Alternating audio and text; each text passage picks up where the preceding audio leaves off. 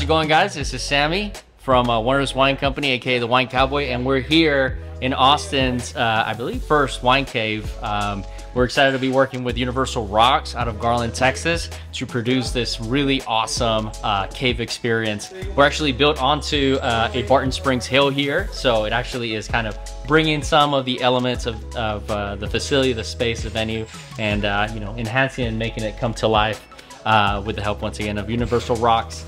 Um, what you see here is an old building built in the 1930s, once again on the Barton Hills, uh, Barton Spring Hill. If you guys know anything about Texas, uh, especially Central Texas, we have a lot of cavern systems. So while we can't really get into a cavern, we do uh, bring and kind of uh, are excited about offering this cave experience. Um, many great things to look forward to. We're not done just quite yet, but uh, stay tuned and follow us for the journey and Hopefully. Got my sister Diane right now working on the final touches on that wall. Got Pops and Brandon fixing uh, some of the exit doors, make sure that we're still able to exit out of the cave safely and happily. So, so when we, uh, when I was first trying to figure out what we can do to really bring to life this wine cave that once again, because we're naturally built onto the hill. We wanted to provide something that offered something that was as natural looking as possible. Um, we really wanted to have this natural cavern look.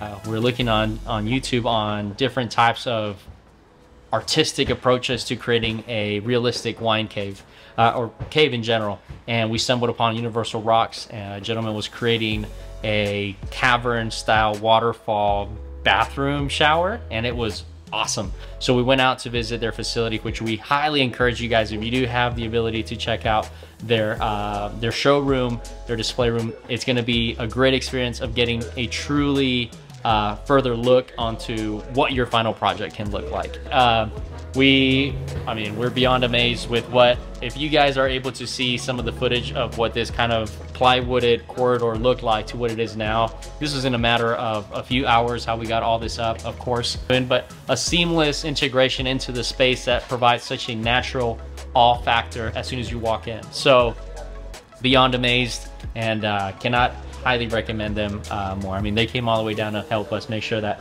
this was done great, uh, properly. And I mean, we're here in Austin, Texas. If you're looking to uh, use them for your next project, come visit us. I mean, we're right here, uh, but definitely visit their showroom so you can get uh, from uh, from them personally a better uh, understanding of what you're going to get into.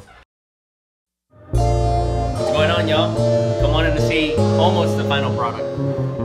We're starting to put some uh, furniture in here so that we can have this be a comfortable space where folks can come and enjoy a very cool and unique underground speakeasy wine cave experience. So um, right now, this is what you see as the cave corridor that our friends over at Universal Rocks help us install.